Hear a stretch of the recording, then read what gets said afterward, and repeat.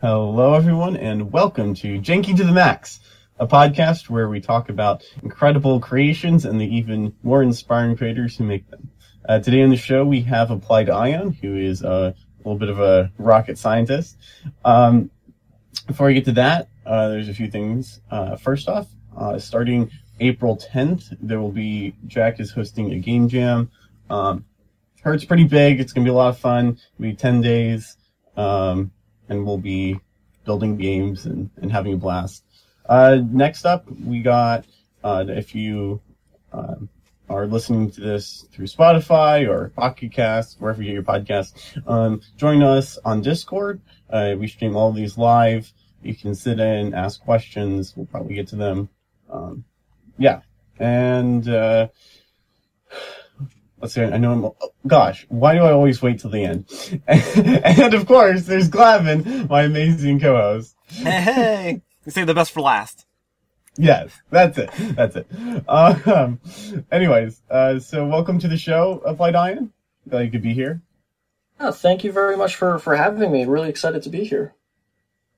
Oh no, it's great. So tell tell us what what are you working on? What what do you do? Um, yeah. So, so currently, um, for for those who, who don't know my work, uh, I'm working on uh, open source electric propulsion for micro and nano satellites. Uh, so, really focusing on uh, plasma and ion thrusters for these small satellites. Um, so, I've, I've, been working on uh, several different technologies across the board for these.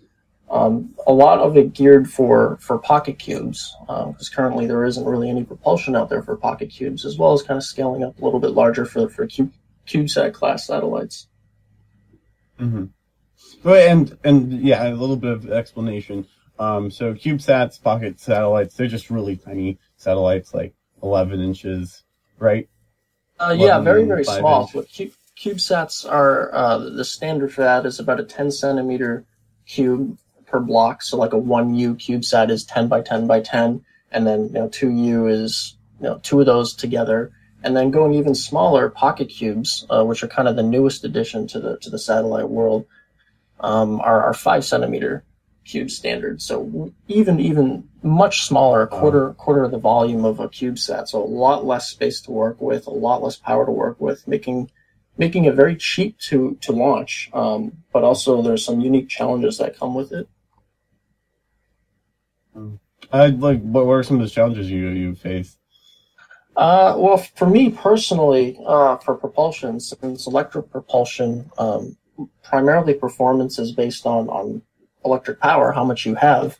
Um, since these tiny satellites have very little power, it's it's extremely difficult to um, try to optimize the, the thrusters to get as much thrust and specific impulse and everything as possible at these really small scales, and then kind of just in general with spacing, um, scaling the technology down so that it actually fits in these incredibly small volumes. Right, right. Because, uh, um, yeah, you, you, I, I can't even begin to imagine how hard it would be trying to, um, yeah, trying to scale everything down to that that that small. Uh, so, uh, like, just uh, for the, the listeners who don't know, can you give a brief outline uh, outline of uh, of ion propulsion, or no, not ion propulsion. Um, gosh, electric propulsion. What what did you call it?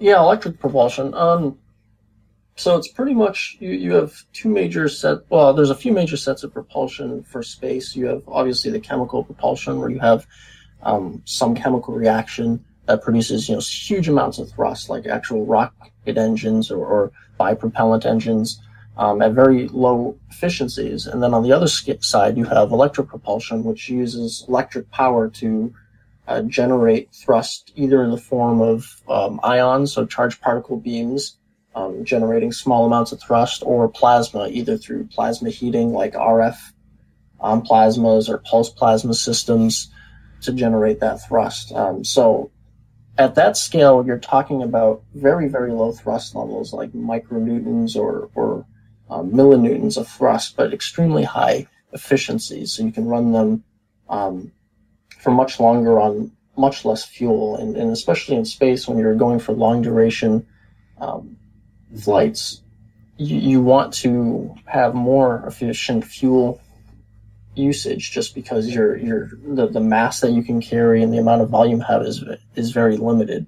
Um, so there's trade-offs between the two, uh, but electric propulsion has a lot of um, unique advantages to it.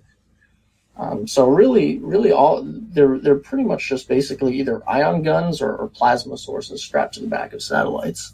And and Uh, that's what kind of what it boils down to. did you specialize in, in ion propulsion, or is it just uh, like you, you do both depending on what whatever Uh, satellite you're working on? I, I have no formal training in in um, electric propulsion myself. A lot of my background, though, is um, in high voltage systems.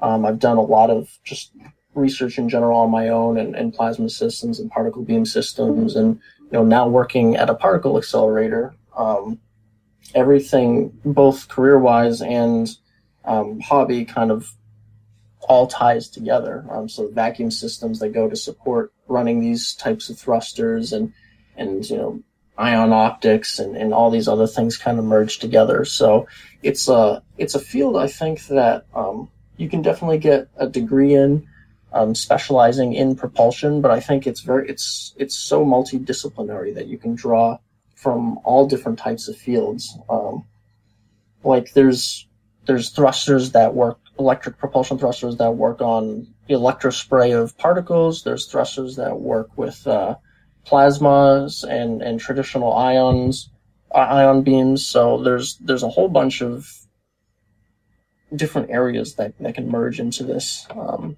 Yeah. that you can. Well, t- tell us tell us more about like kind of a bit of your background and like how, how you got here because I know I know a lot of us are like huge space nerds. Like we we we all love space, um, and but like there there always at least for me there always seems to be like this barrier. Like okay, well if you're even gonna think about like working on stuff, you know you have to have a you know degree in, in, you know in, in rocket science, you know that that sort of stuff. But you've taken like a different route, so kind of tell us about that.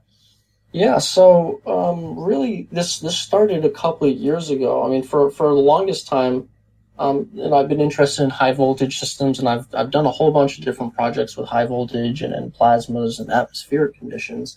Um, but I've always wanted to get into vacuum based plasma physics. So there's a lot of really cool things you can do in vacuum, but that requires you know vac- high vacuum system to use. Um, so a couple of years ago, I kind of just buckled down and, and you know started um, designing and, and budgeting it out for, for a very simple vacuum system using um, you know whatever spare surplus parts are, are on eBay and, and trading with friends who are in the in the field and everything that, that do this um, themselves. And originally, my goal wasn't electrical propulsion. I was actually looking to build uh, my own special type of um, very high power electron gun. Um, so I had I had started doing that um, and gearing up for that, and um, in in the process of designing the systems and, and talking with others and, and friends and stuff who also kind of do vacuum physics stuff at home, um, I found that I had some extra surplus parts, and I figured, uh, what else is cool that you can do in vacuum? And propulsion has always kind of been another side interest of mine. Um, everything from from pulse jets and, and small hybrid rockets, um, and and um, turbocharger based jet engines. None of the stuff I actually built, but it was always really cool to see that stuff in in the maker community and seeing what other people are building at home. And electric propulsion kind of was a way to merge my interests in high voltage and plasma and particle beams and propulsion. And I thought, you know, hey, might as well try doing this on the side. Um, so as I kept so as I kept going and talking more with people in the in the community about this, um, my interest kind of shifted a lot more into the propulsion side. There was a lot um, of excitement within the uh, maker community about it, and there really wasn't anyone actually doing this stuff yet at this level. So I kind of transitioned more and more into this and uh, working more with the Pocket Cube community. Um, kind of grew into this role of of, of being the guy who's doing the open source Yeah. propulsion. Yeah, so that's another really cool thing is that it's all open source, right? Yeah, yeah, everything. Uh, you can go to my website. You can you can actually find um, for for the thrusters that actually complete and and work because there's there's a lot more failures than there are successes. But for the stuff that actually does work, um, you can find you know the, the all the the schematics, the CAD, the PCB models.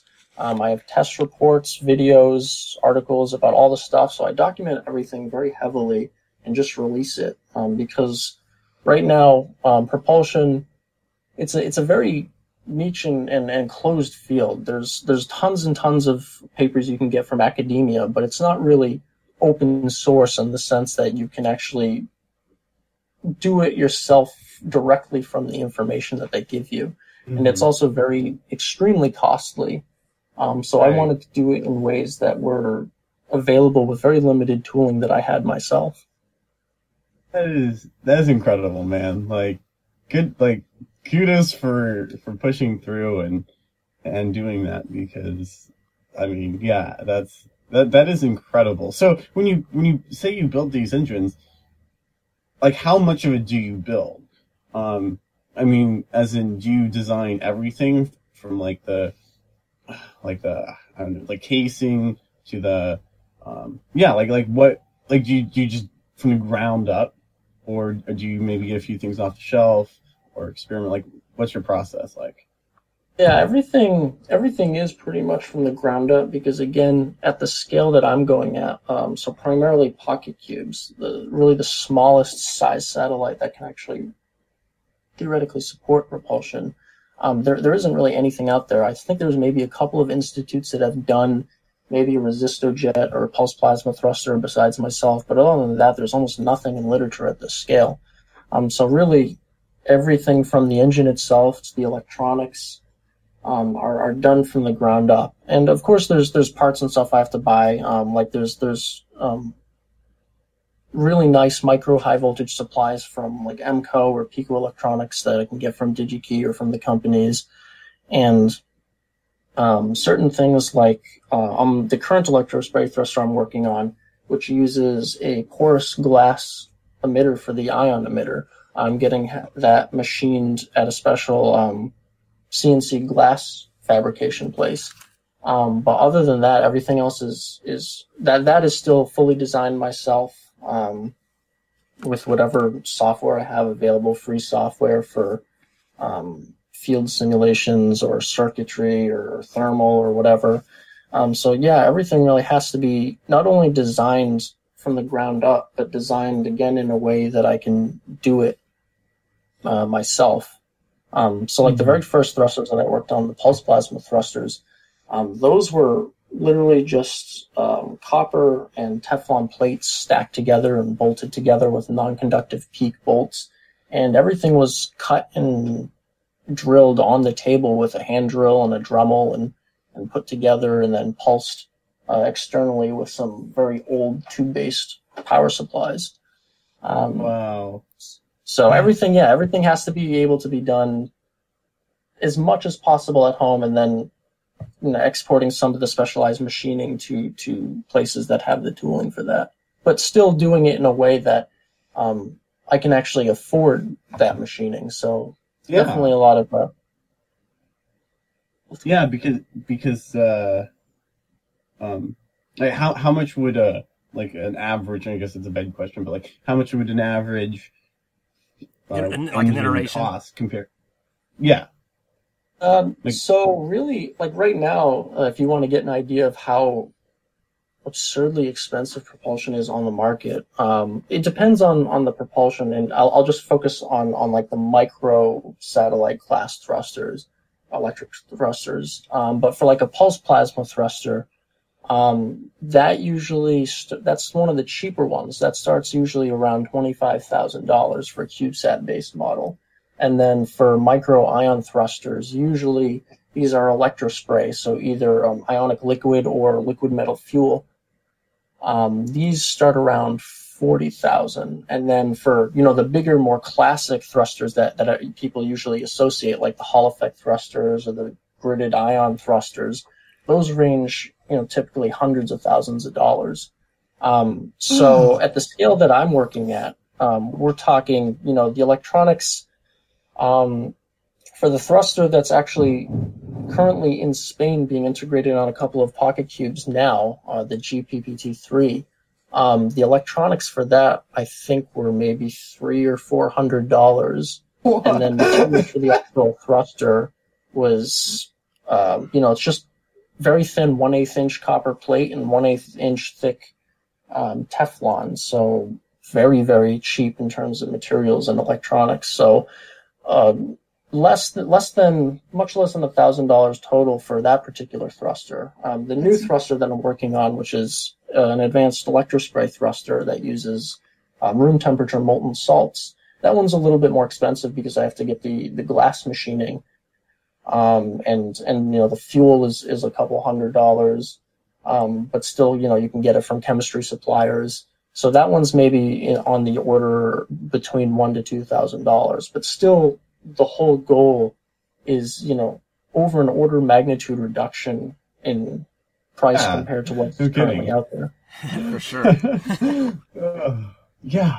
Wow. Yeah, no, what, what I, what I absolutely love about, especially open sourcing space stuff is that, um, I, I don't know if you guys, any of you listened to Malcolm Gladwell. If you haven't, I would recommend his podcast and his books. They're fantastic. But anyways, one of the things he was, he was, uh, making, noticing or a theory he was stating, was uh, one of the reasons why the Industrial Revolution happened in Britain was because there were more skilled craftsmen.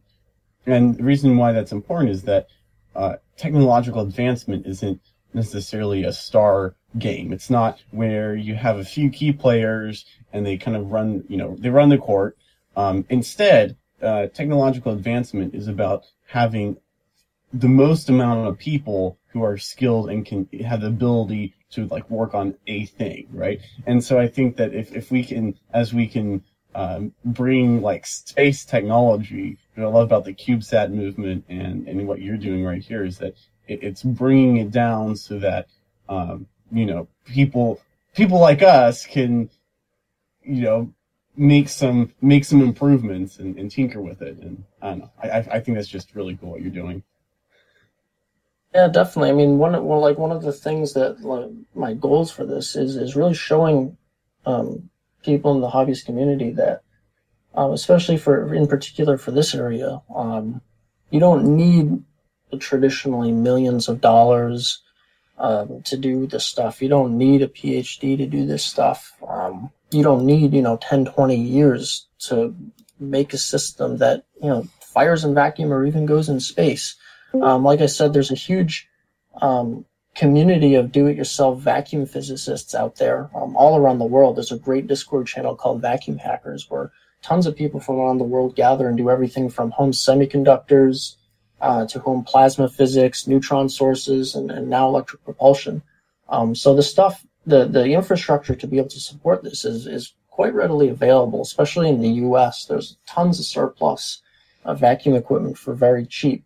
And a lot of the principles, um, and when you think rocket science and, and you know maybe electric propulsion, it might seem intimidating or or kind of very difficult to access. But um, if you if you kind of look at some of the thrusters and stuff I've done, like the pulse plasma thrusters, it's like for that one in general, it's literally just Teflon and copper just stacked together. Um, the principles and mathematics and physics and stuff behind it, it's it's good to ha- know the, the, fundamentals and everything. And honestly, math is, is one of my worst subjects, but um, it doesn't actually take that much effort to to get these simple materials just um, operating and showing the basic principles.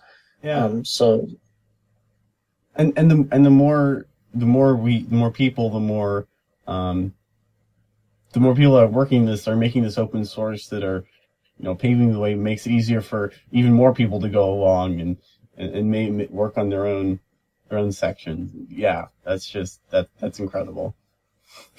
uh, oh, and, and I think an important thing, um, like how, how long, uh, say, say your, your best engine, how long can it, uh, keep the satellite in orbit? Because isn't that, isn't that the, the purpose to help uh, decrease the amount. Yeah, that is the goal. Um, the, the, first thrust, the complete thruster that I built with the, the electronics and thruster and everything, the GPPT3, that's that's currently supposedly going in orbit by the end of June. Um, that one we actually found there there really isn't at the um, the altitude that it's going to be at. There isn't going to be really enough thrust to actually do uh, orbit maintenance. So uh, at different levels of, of orbit, there's different requirements, and the higher up you go, um, the, the amount of thrust you drops off quite radically because of atmospheric drag conditions and all that other stuff. So mm-hmm. for the current one that's that's out there, um, that one's going to be more of a tech demo, but it'll be uh, an important tech demo because um, if it actually works and we verify ignition, uh, it'll be the first time that this class of satellite has ever fired propulsion successfully in orbit. And it's really, you know, the first time that an open source home built thruster is actually fired in orbit. Is, um, so is, I feel like that is a huge, giant achievement. Like, yes, putting a man in space is important, and putting a man on the moon is, is also pretty cool. But like, having an open source that someone built in their garage, not like a, a team of trained rocket scientists in a lab, like, I don't know. that that's just that that that is that is that is amazing.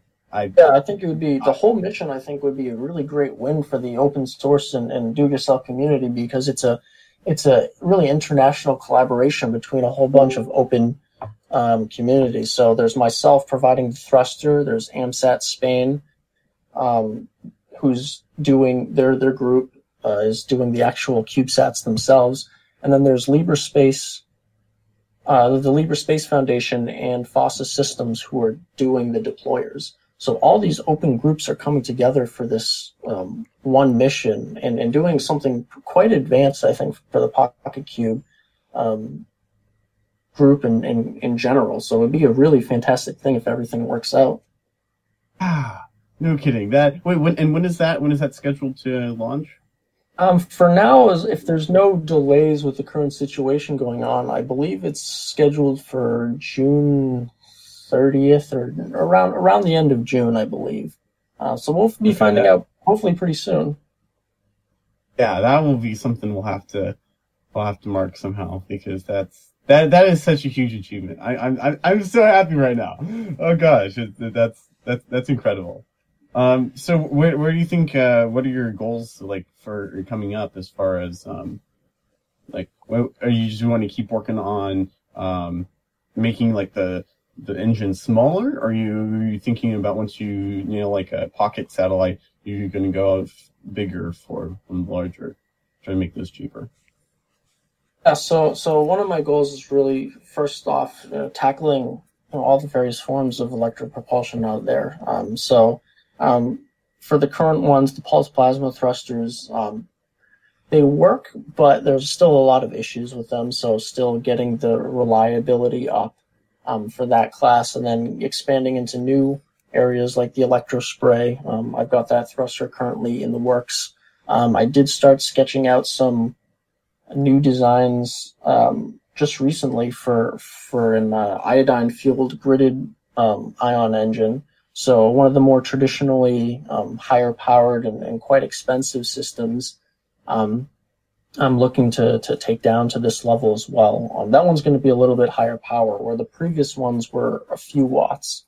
Um, the the gridded ion one is going to be on the uh, 50 watt or so level of power, mm-hmm. but really branching out into different forms of electric propulsion and um, I started out with the, the Pocket Cube not only because there really wasn't any propulsion out there for it, but um, scaling in electric propulsion is, is one of the biggest challenges. Going smaller is much harder than going larger. So I figure, you know, start out as small as possible, work out the bugs for that, and then going up larger is, is easier, especially with some of these thrusters like electrospray, where the actual physical thruster doesn't get bigger, um, what you do usually is you parallel a lot of modules together, um, kind of as a cluster to give you higher thrust for, for larger ones. So working out the smaller ba- building blocks, and then, um, you know, if you want to put it on a larger satellite, you just parallel, you know, five or ten of them together. Okay. Right on. So I got a question real quick. So about the runtime for these engines. Um, what kind of total runtime do they tend to have? And can you use its maximum cap- capability all at once, or can you only have limited amount per application of force? Um, so you it, runtime again really is is highly dependent on the technology. Um, so if we if we look I mean, at the more for the ones general, that you've been getting into. um, certain certain thrusters, you know, like the gridded ions, can last. You know, I think the the most recent tests with the newest one from NASA, they just completed like forty or fifty thousand hours of runtime continuous. Um, so some really absurd numbers for the biggest ones, and then at the CubeSat level, you're talking about you know several thousand hours of runtime um, for for ion engines, and then for like pulse plasma thrusters and stuff. They're they're since they're they're pulsed, it really is more on you know how many pulses they last. So on the order of usually about a million pulses or so. Um, so for the ones that I'm looking at, um,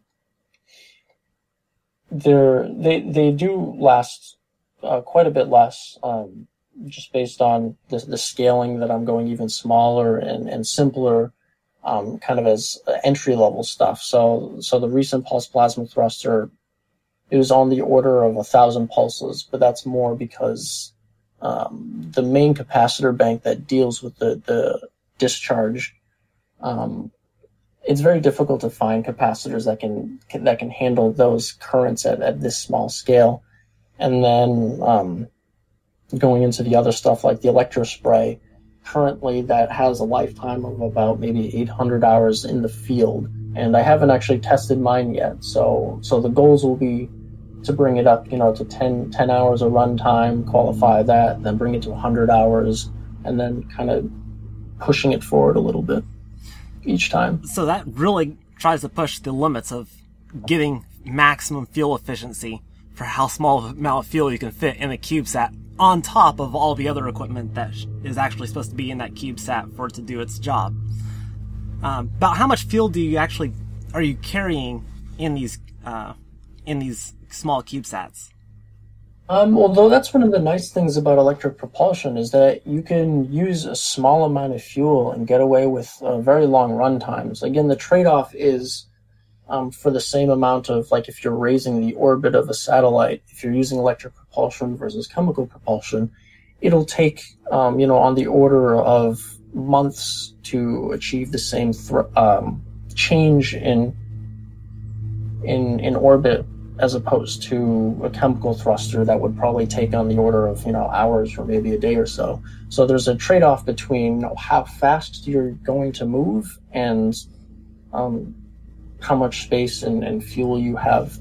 Uh, so so even though th- there are a lot of fuel efficiency benefits, you still have to kind of look at the mission context and what you're you're after um, in regards. So in in some sense, electric propulsion isn't for every single mission. It's not like you know the the the, the solution to everything. So it really depends. But um, so for like these micro thrusters for um, CubeSats, um, if you're looking at stuff like electrospray and pulse plasma thruster, you're thrusters, you're really looking at tiny amounts of fuel on the order of maybe like grams or so, because for certain these thrusters, um, they're they're stored um, often in either solid or liquid form.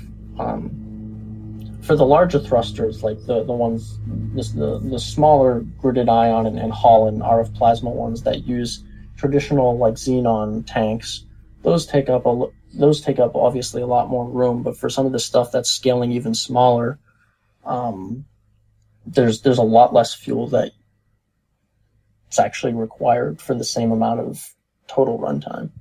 All right. So now another thing I noticed that you mentioned was talking about using the difficulty of energy storage solutions. So you said you're using capacitors at the time being. Can you tell us a little bit more about what goes into the energy storage part and why, how how much energy you're needing all at once and why that's so important?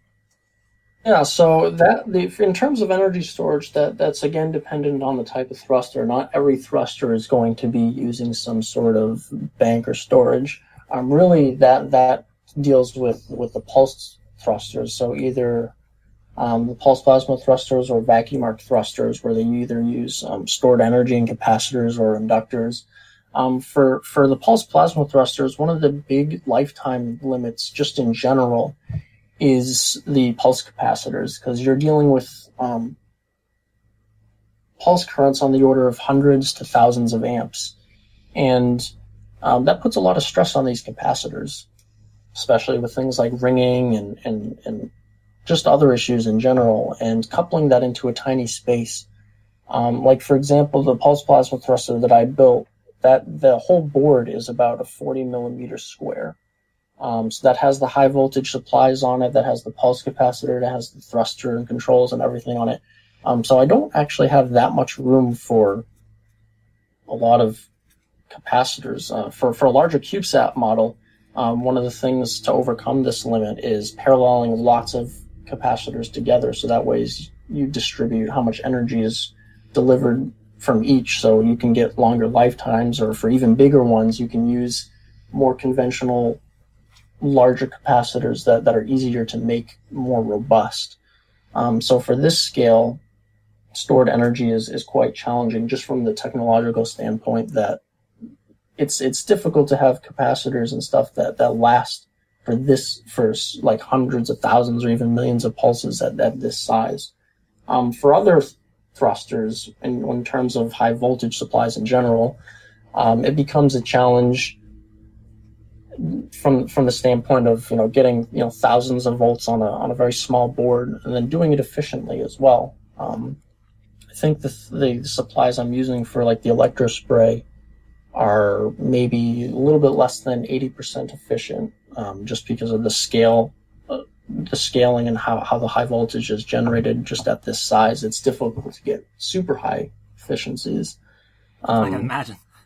And and in particular, one of the, the, the biggest challenge I'm finding with this current thruster is, is switching.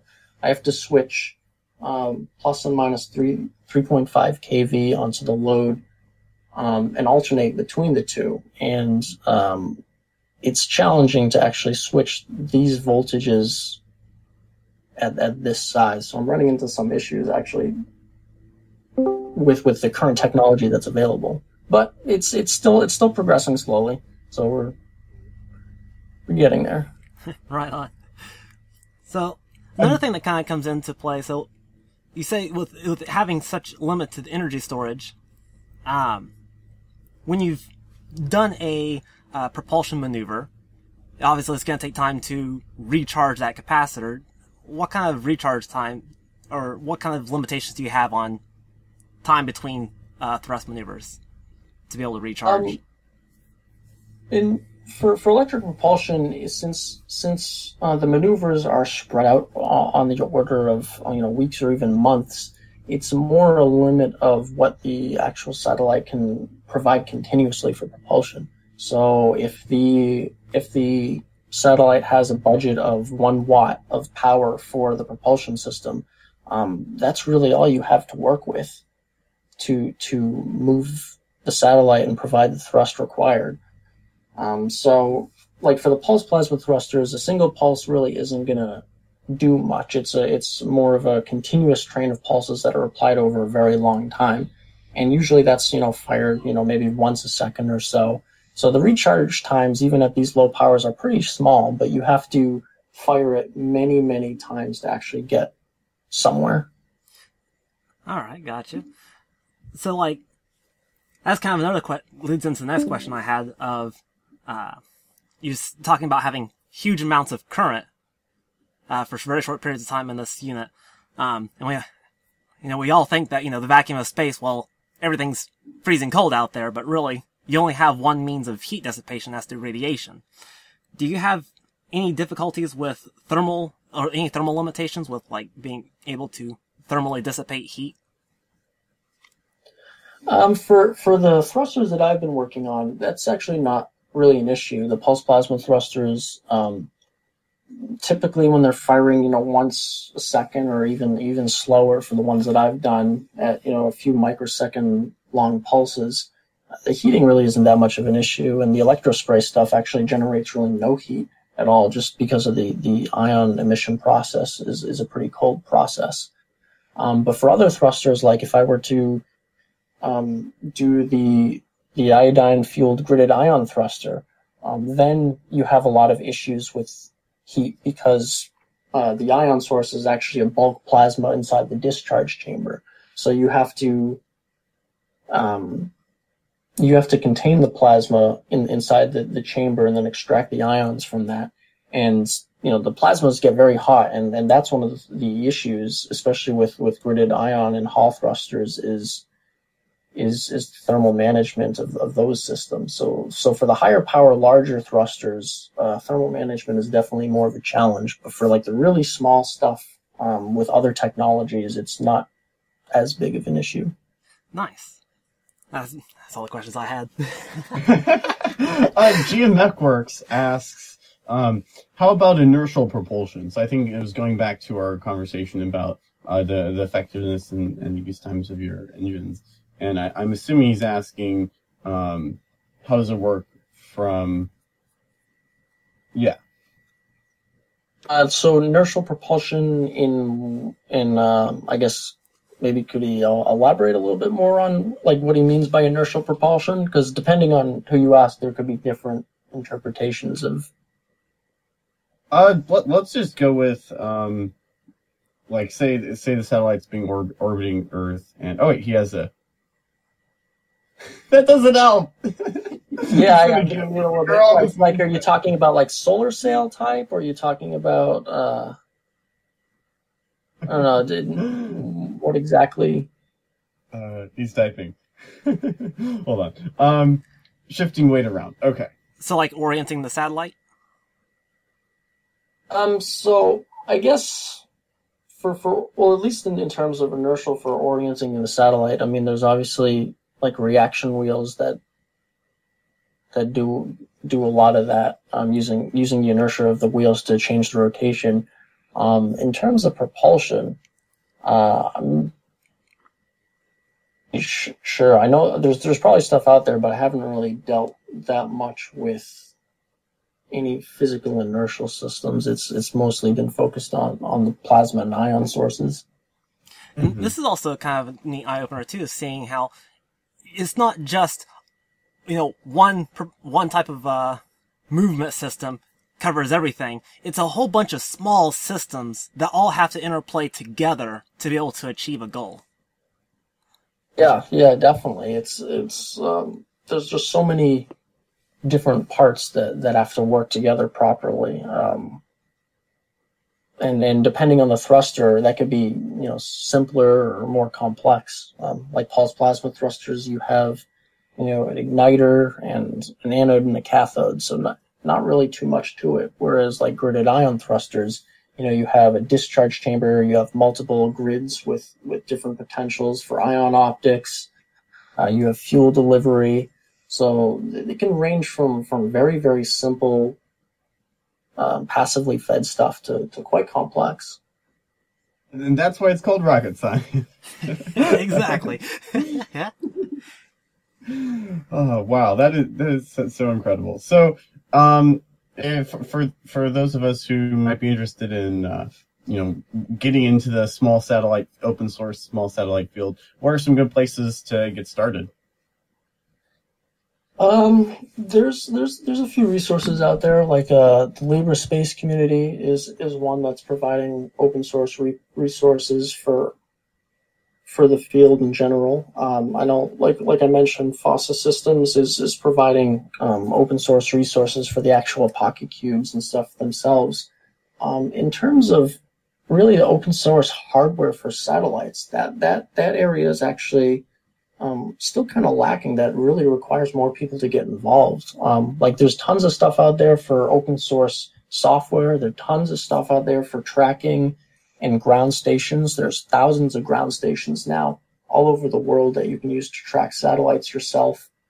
Um, but in terms of the actual satellite hardware, there isn't really that much. Um, I actually had the opportunity to go to the open source CubeSat workshop that was held in Athens, Greece in October, um, which was a really fantastic event where, you know, all probably 30 countries around the world came together to share a lot on open source CubeSats and open source space. And one of the surprising things that I took away from it was that there still really isn't that much work on open source hardware in this area. Again, there's tons of stuff for software and for tracking and everything, but in terms of the actual physical satellites and subsystems, pe- people really aren't sharing as much about that. Um, so I think there That definitely a- a lot of room for people to get involved with. Yeah, that, that, that's really good. Um, yeah. So th- thanks for that. So, is are there any other like personal resources you want to plug? Um, in terms in terms of for for the satellites themselves, I mean, I I haven't looked too much actually into the other subsystems because you know each subsystem itself is a, is a whole field you could get into everything from power to communication to various you know there's infinite science payloads you can get into. Right. Um, so I do have I, I, I, I was thinking more like Yeah. uh, like you got it like a Twitter or a, a website or anything. Oh yeah, on yeah. Um, so so for my stuff, I post everything, um, primarily through the Applied Ion Twitter page. So that's where I directly interact with the community on a daily basis and post updates. I mean, I have I usually when I actually every time when I run a when I run a test, um, I live tweet details of the test, and I've started um, actually live streaming propulsion tests when they happen. Um, there's the Applied Ion Instagram, which has all the pictures and everything, the builds and and all that stuff, and the Applied Ion um, website where I post and document everything just in general, like all the schematics and details and everything kind of packaged and bundled together. Um, so those are kind of the really the major major areas that have everything. But again, everything is all there across the board. Um, and you know, if there's any questions from anyone, um, especially you know on Twitter or even through email or whatever, I'm always happy to you know answer that about propulsion in general. Well, yeah, thanks, man. That's that, that- that's that. Yeah, what what you you're you are doing some incredible work, and uh, it's it, it's super encouraging. Um, because I mean, again, I think we're we're all space nerds. We all love space. We all love the idea, and you know, this is a this is a practical way to to get involved and to actually make a difference. Oh And yeah. that's- Actually, I've done a lot of research already in electrically powered engines, just for because I write hard sci-fi, and I want it to be scientifically accurate as possible. So that's something I actually have a, a link on my desktop that goes to several pages for electrically powered engines and the different types, so I can easily reference them. that, that that's great. All right. Well, I should we should probably let you guys go. Um, anyways, uh, thanks for thanks for being on the show. Really appreciate it. Um, and uh, so this is I, I I knew I would forget something in the beginning, but this is the start of our space month. So for the rest of the month, we're going to be talking to different people in the space industry. Um, I believe, and I haven't checked my schedule, so I'm gonna have to recheck it. I believe it's Wednesday or Monday. Um, I'll post some details, but I'm going to be interviewing. Uh, we're going to be talking to a uh, CEO for a space startup. So we'll get like a um, yeah, it'll be really good, really interesting. I'm super excited for that. Um, so, anyways, I hope to see you guys there for that. And remember, whatever projects you're working on, keep it janky to the max. Hey everyone, thank you for tuning in to this episode of Jaynky to the Max. If you like it, make sure to like the video and subscribe. And if you want to suggest more projects that we can feature, make sure to comment down below, or even better, join the Discord server in the description. We try to stream live every weekend on the server, so make sure to join and grab the podcast role if you want to be there and see it for yourself. Anyway, make sure to stay janky.